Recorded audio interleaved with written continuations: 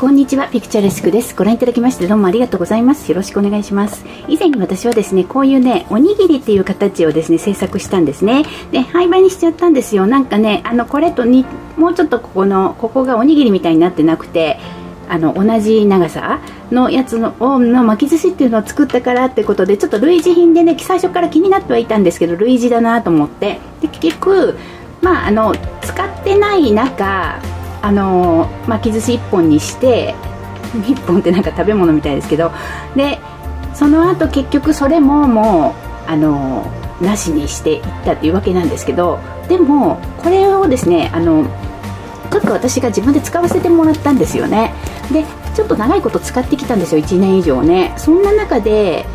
まあいろんな機能もあるんだけどあの自分で何か言うのもなんですけどやっぱ使いやすいですね。で特にねポケットのをどう使っているかということを中心にちょっと今回ご紹介したいと思いますね。よろしくお願いします。ポケットはこれセキュリティ性結構高めていて外側にはねつけてないんです。つけてしまうとこれ結局リュックなのでここはまあ別にここにポケットつけてあってもそれはそれでセキュリティ性あったりするんですけどね背中のとこまでちょっとねあのこう四角になるからねいいんですけど、まあ、当たりますよね背中に。なんか薄着だとここのファスナーとかが当たるとかいろいろあるのでここにあのポケットつけてないんですよ。でこっちにも、まあ、柄が入ってる場合だと柄が損なわれるしこんなボンとポケットあるのもなんかちょっと逆にセキュリティ性がないということで何も外側にはつけていないんですね。で中に代わりに2つつけるっていうコンパクトなバッグながら中に2つポケットあるのってちょっと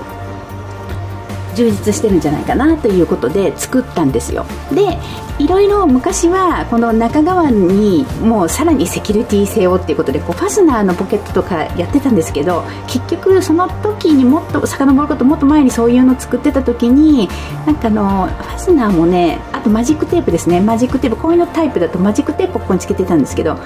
あれって逆にあるとストレスかなっていうことになって自分で実際に使ってなくしたんですよね。でこっちも隠しポケットの隠しファスナーあの隠しポケットについてるファスナーもそれもつけずに手を入れたらまあスッと取り出せる感じな内側なので外がとにかくファスナーで覆われているから中はいいんじゃないかなっていうふうにそういうふうにちょっと戻したっていうかセキュリティ性をあのガンガンにしずにねガンガンにしすぎてちょっと使いにくいといけないなと思って使いやすくするためとのうまい具合の調整というかバランスを取ったんですよ。でそれが結果こういう形になったっていうことになってでじゃあ何入れてるかっていうとこっちのねこういう隠しポケットっていうんですかね。こういうタイプねこの玉縁みたいなあのスーツのポケットみたいな。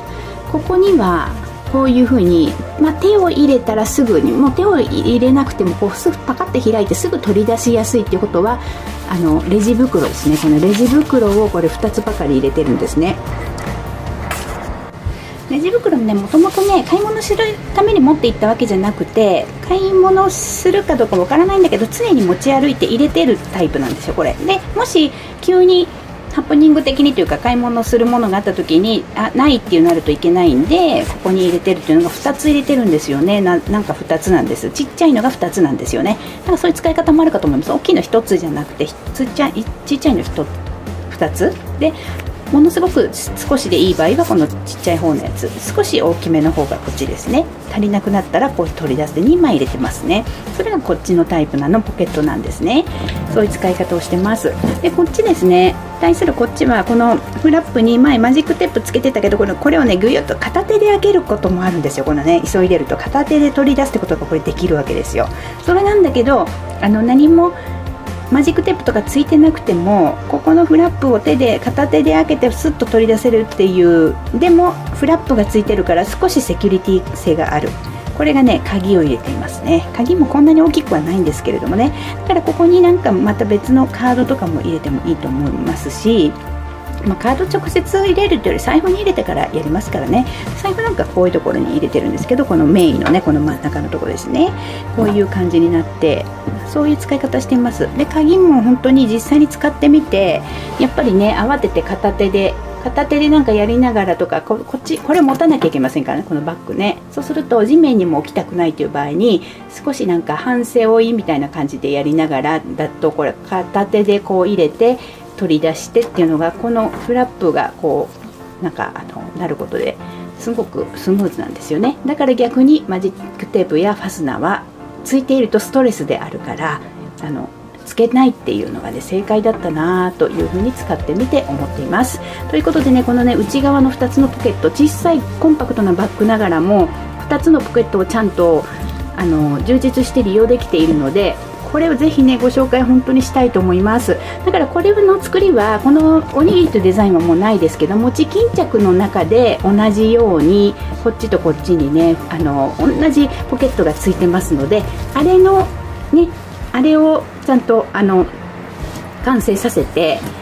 あちらの作り方っていうことでいろんなあの皆様のね制作に取り入れてもらっってったらいいなと思いますね。基本的なその2種類のポケットですね。これは同じのついててもまたねどちらがどちらか分からなくなっちゃうからそれもストレスなんでこの違いポケットの種類が違うっていうことも意味があると思うんですよね。なのでこのこっちのポケットっていうのの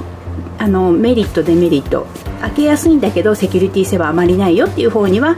あのちょっとあの大切じゃなくても大丈夫な方を入れておく。でこっちのフラップ付きの方はなんかセキュリティ性はまあそのストレスがあるからあまりガチガチにしないまでもやっぱり少し不安だからこう蓋をしたいっていう時のものってなるとちょっと大切なものになりますよね。なんかそんな感じで2つのねポケット使い分けるっていうことがこれねできるわけですねということでした。ということでちょっとなあの考え出してから何年か経った1年後ぐらいに経った時のもう1年以上も経ってますかね。だいぶ経ったんですけどそのあの使っていく中での私が自分であの思った感想ですね。そんな感じを今回ご紹介しました。どうもありがとうございました「